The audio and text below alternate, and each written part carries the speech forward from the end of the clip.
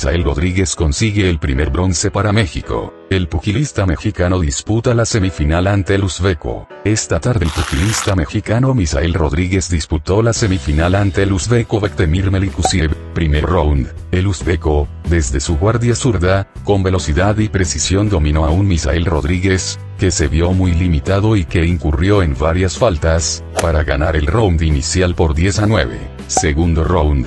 Para el segundo capítulo, Misael aprovechó su mejor alcance y potencia para castigar al uzbeco, quien con gran habilidad eludió el castigo del mexicano y lo contragolpeó con velocidad y se llevó el asalto con claridad. Tercer round. Al tener todo en contra, Misael Rodríguez salió a vencer o morir, pero se le vio limitado y a su rival muy superior, con lo cual se volvió a llevar el asalto. Al final los jueces dieron una merecida decisión unánime a favor de Bektemir Melikusiev, que pasa a la final y Misael se queda con el bronce. Este deporte es así, no me tocó ganar. Puse todo lo que estuvo de mi parte, represento a México y los mexicanos siempre nos morimos en la raya, dijo Misael al finalizar el combate. Fue de bronce.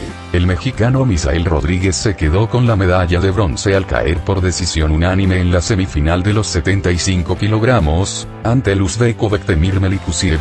De esta manera el boxeo mexicano acaba con la sequía de 16 años sin ganar medalla. La última medalla en pugilismo la había obtenido Cristian Bejarano, en peso ligero, en los Juegos Olímpicos de Sydney 2000. Esta tarde, el mexicano no pudo acomodarse a la pulcra guardia zurda del uzbeco, que además de eso mostró velocidad y precisión de puños, recursos con los cuales sumó puntos que le fueron dando tranquilidad para manejar las acciones del combate. Misael, por su parte, no fue capaz de sacarle provecho a su mayor alcance y buscó, sin lograr, conectar golpes de poder, cuando en el amateur lo que importa son los golpes que se conecten y no la potencia. De cualquier forma es la primera medalla para la delegación mexicana, que en estos Juegos de Río 2016, ha tenido una muy pobre actuación.